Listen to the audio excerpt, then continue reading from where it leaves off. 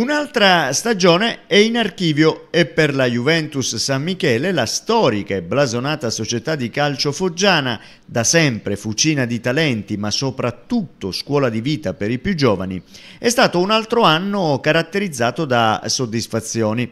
che, come le ciliegie, sono arrivate una dopo l'altra. Una stagione che ha fatto calare il sipario con un altro imperdibile appuntamento, ovvero il Mundialito Scuola Calcio Torneo San Michele, dedicato ai piccoli amici, ai primi calci e ai Pulcini, un torneo a cui hanno preso parte le società Uniti Cerignola, DF Lucera, il Lucera Calcio, DL Foggia, il Real San Giovanni, la Juvenalia di Foggia e ovviamente i padroni di casa della Juventus San Michele. Ha vinto la gioia di imparare giocando, valore che a San Michele da sempre è fondamentale. Hanno sottolineato i protagonisti della storica società foggiana presieduta da Valerio Russo, ma con tanti educatori di calcio e di vita, da mister Michele Murani al responsabile della scuola calcio Vito Solazzo,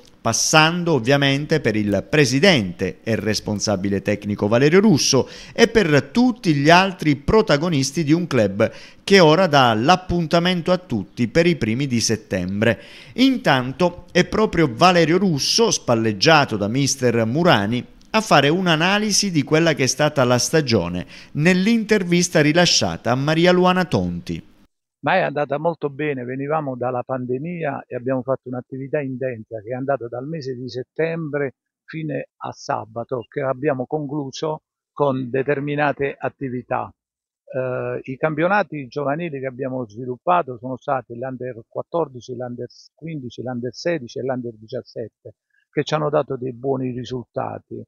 Eh, però voglio dire, eh, uno degli obiettivi nostri non è a livello giovanile il risultato, anche se noi nel 2018 abbiamo vinto il titolo regionale dei giovanissimi, ma il nostro obiettivo è insegnare ai ragazzi a fare sport e tramite lo sport quelle che sono le regole per diventare un buon cittadino. I nostri obiettivi è dare continuità a questo progetto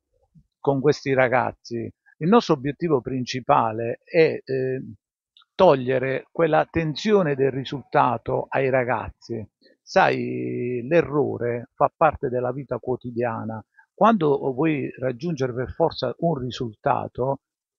è, è, è, facile che un ragazzo prenda tensione, che prende, abbia paura di sbagliare. Invece noi diciamo a San Michele, impariamo giocando, impariamo sbagliando, perché l'errore ti dà la possibilità di migliorarti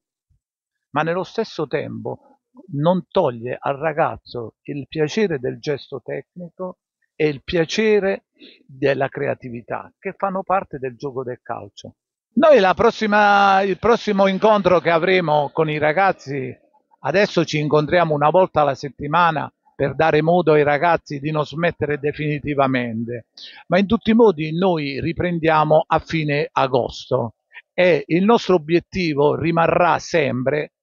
sicuramente noi essendo una,